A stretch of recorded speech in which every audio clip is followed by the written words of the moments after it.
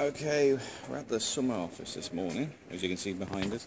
Um, we've just paid for sorry, what, the car tax, which is basically this. This is this is your SUMA. Um, now, you're probably aware or not aware, but in the UK it's normally horrendous. Um, yeah, I found I've paid less than I would on the motorbike for the cost of the van, which is nearly a three litre engine. Um, 61 euros. The reason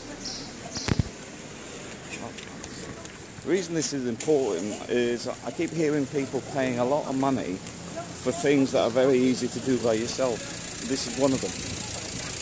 All you need is the documents from your car, your vehicle registration document, and a copy of your passport or a driving license just take it in the office and you can pay by bank card in the office or they'll give you a form and you just take it over the bank. Um, because if you're going to the bank you then pay it then take the payment slip back to them.